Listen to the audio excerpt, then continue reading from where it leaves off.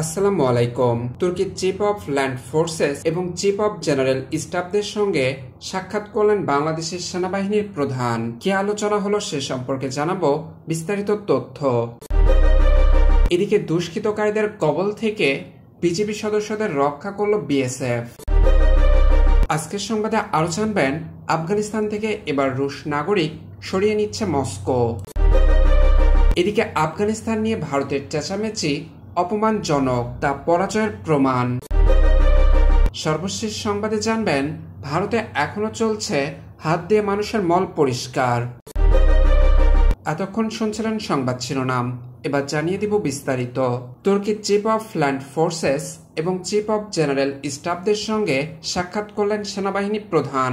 তুরস্কের সফররত সেনাবাহিনী প্রধান general S M Shafiquddin Ahmed ও এসপি এনডিইউ পিএসসি গত দুই দিন, তেইশ ও চব্বিশ আগস্ট দুই হাজার একুশ ইন তারিখ তুর্কির chief of land forces general Musa Avsever এবং chief of general staff general Yasar Guler সঙ্গে সাক্ষাৎ করেন। উভয়ের সাথে সাক্ষাতে তুরস্ক এবং বাংলাদেশ সেনাবাহিনীর মধ্যে দ্বিপাক্ষিক স্বার্থ সংশ্লিষ্ট বিভিন্ন বিষয় নিয়ে আলোচনা করেন বাংলাদেশের সেনাবাহিনী প্রধান। আলোচনায় উভয় দেশের মধ্যে প্রতিরক্ষা বিষয়ক সম্ভাব্য সহযোগিতার ক্ষেত্রসমূহ প্রশিক্ষণ বিনিময় ইত্যাদি বিষয়সমূহ প্রাধান্য পায়। তুর্কি সেনাবাহিনীর গুরুত্বপূর্ণ সামরিক ব্যক্তিবর্গের সাথে সাক্ষাতের পাশাপাশি তুর্কি unmanned aerial system, operation control room, army aviation এর সদর দপ্তর এবং তুর্কি এয়ার স্পেস ইন্ডাস্ট্রিজ পরিদর্শন করেন general S M Shafiquddin Ahmed. এছাড়া তিনি আঙ্কারে অবস্থিত মুস্তফা কামাল আতাতুর্ক এর সমাধিস্থল এবং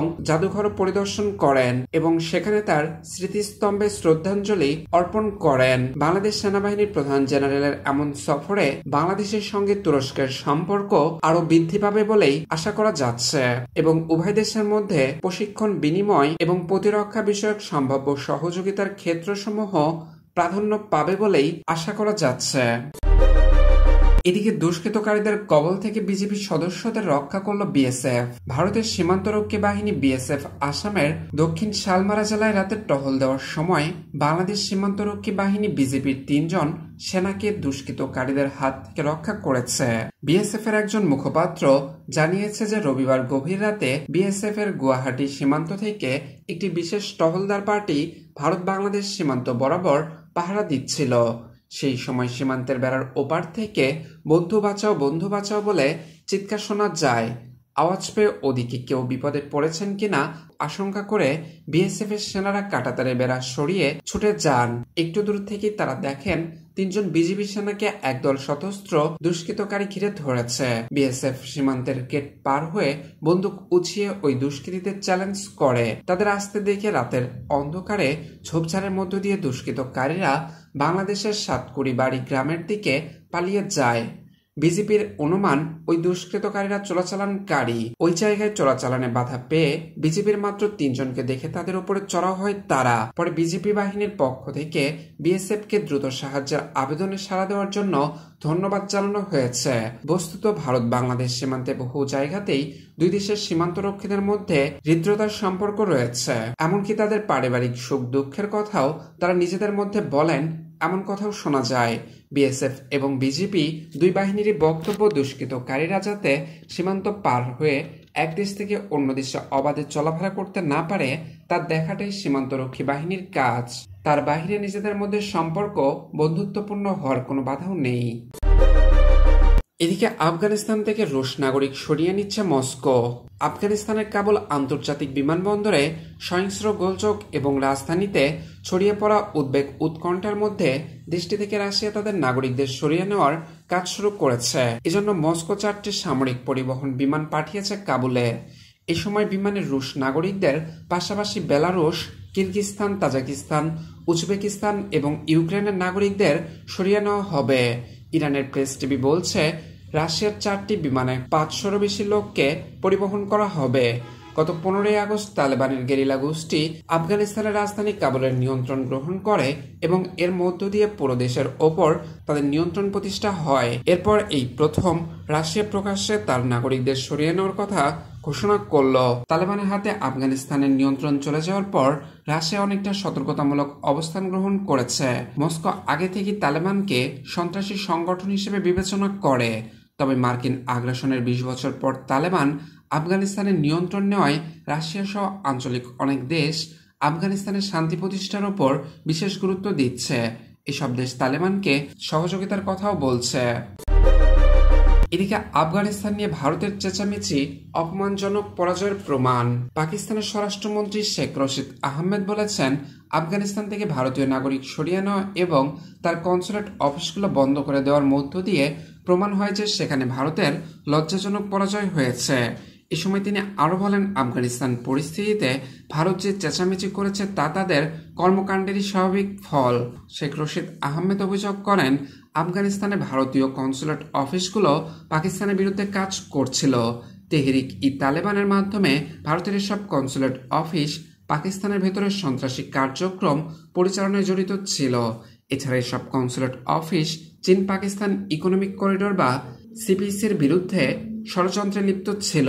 পাক স্বরাষ্ট্রমন্ত্রী বলেন, আফগানিস্তানের ভেতর পাকিস্তানের কোনো রাজনৈতিক দলকে লক্ষ্য অর্জনের প্রক্রিয়ায় জড়িত ছিল না। পাক স্বরাষ্ট্রমন্ত্রী বলেন, আফগানিস্তানের ভেতরে পাকিস্তান কোনো রাজনৈতিক লক্ষ্য অর্জনের প্রক্রিয়ায় জড়িত ছিল না। তালেবানের হাতে পুরো আফগানিস্তানের নিয়ন্ত্রণ চলে যাওয়ার পর দেশটির কোনো রক্তপাত না ঘটায় শেখ রশিদ আহমেদ সন্তোষ প্রকাশ করেন। তিনি জোর দিয়ে বলেন, আফগানিস্তানের টেকসই শান্তি প্রতিষ্ঠা জরুরি। এটি আঞ্চলিক এবং আন্তর্জাতিক বিশ্বের জন্য গুরুত্বপূর্ণ। তিনি আরও বলেন, আফগানিস্তানের শান্তি মানেই পাকিস্তানের এবং ইসলামাবাদ সবসময় আফগানিস্তানের শান্তি প্রতিষ্ঠার পক্ষে কাজ করছে। চীন পাকিস্তান ইকোনমিক করিডোর দিয়ে বাইরে কেউ ষড়যন্ত্র করে সফল হতে পারবে না এবং চীন ও পাকিস্তানের মধ্যকার সম্পর্কে কেউ বাধা সৃষ্টি করতে পারবে না বলেও মন্তব্য করেন শেখ রশিদ আহমেদ। এদিকে ভারতে এখনও চলছে হাত দিয়ে মানুষের মল পরিষ্কার। আইন করে ভারতে হাত দিয়ে মানুষের মল পরিষ্কারের ওপর নিষেধাজ্ঞা আরোপ করা হয়েছে। তবে এখনও তা চলছে বলে অভিযোগ অ্যাক্টিভিটিস্টদের। গত মাসে ভারত সরকার জানায় হাত দিয়ে মল পরিষ্কার করতে গিয়ে কারও মৃত্যু হয়নি। তবে সরকার এমন বক্তব্যের সমালোচনা হয়েছে। সাফারি কর্মচারী আন্দোলনের বেজ ওয়াদা উইলসন টুইট করে জানিয়েছেন, এই কাজ করতে গিয়ে এক বছর অন্তত ছাব্বিশ জনের মৃত্যু হয়েছে। আর দুই হাজার ষোলো সাল থেকে দুই হাজার বিশ সাল পর্যন্ত চারশো বাহাত্তর জনের প্রাণ গেছে। বেসরকারি সংস্থার সুলভ ইন্টারন্যাশনাল এর প্রতিষ্ঠাতা বিন্দেশ্বর পাঠক বলেন, সেপটিক ট্যাঙ্ক বা নর্দমা পরিষ্কার করতে গিয়ে দুর্ঘটনার কারণে বেশিরভাগ মৃত্যুর ঘটনা ঘটে, যেমন বাতি হাতি নিয়ে অতিরিক্ত মিথেন গ্যাসের পণ্য নর্দমা পরিষ্কার করতে গিয়ে দুর্ঘটনায় প্রাণ হারান অনেকে, জানান তিনি। এছাড়া বিষাক্ত গ্যাসের মধ্যে কাজ করতে গিয়ে শ্বাসরোধ অনেকে মারা যান।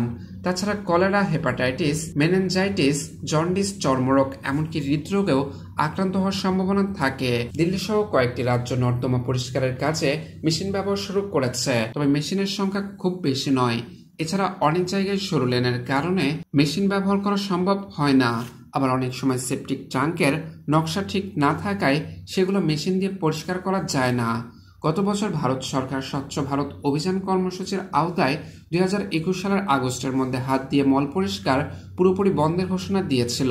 তবে সরকারের এক প্রতিমন্ত্রী সম্প্রতি জানিয়েছেন যে গত মাসে পরিচালিত এক জরিপে ছেষট্টি হাজার নয়শো বিরানব্বই জন পরিষ্কার কর্মীর তথ্য পাওয়া গেছে, যারা হাত দিয়ে মল পরিষ্কার করেন। দলিত সম্প্রদায়ের লোকেরা মূলত এই কাজ করে থাকে। প্রিয় ভিউয়ার্স, ভারত এখনও হাত দিয়ে মানুষের মল পরিষ্কার করে, এর মাধ্যমে এটা নয় যে আমরা ভারতকে ছোট করছি।